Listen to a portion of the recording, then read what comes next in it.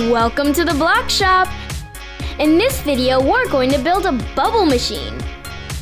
You'll find everything you need in the Connect the Blocks, Go Overboard, the Wheel Deal, and Axel and Axel's expansion packs. Who's feeling bubbly? Let's get started! Make sure you have everything. You can pause the video anytime if you need to catch up. Step 1. Add T-joints and axles to the back of the mini pegboard.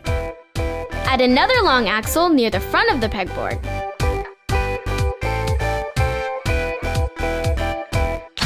Step 2. Now let's build the motor.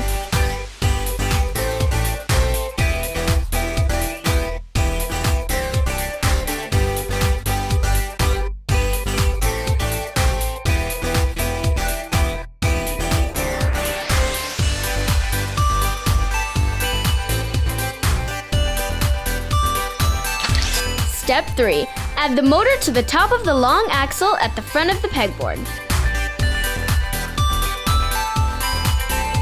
Use elbow joints, couplers, and axles to create the sides of the machine.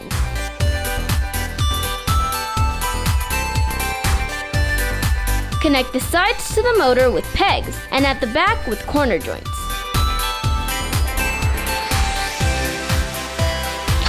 Step 4. Place the rubber band at the center of the mini axle and cap off each side with a spacer.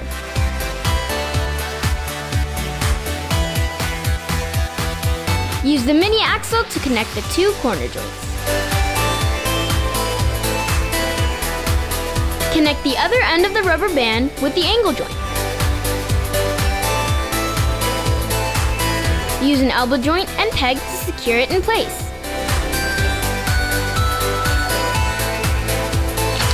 Step 5.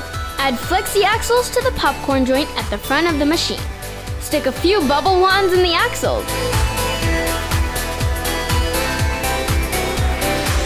Dip each wand in the bubble solution and you're ready to go.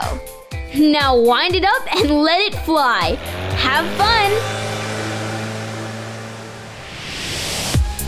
What cool things are you building with GoldieBlox? Let us know in the comments. And don't forget to subscribe for more awesome videos.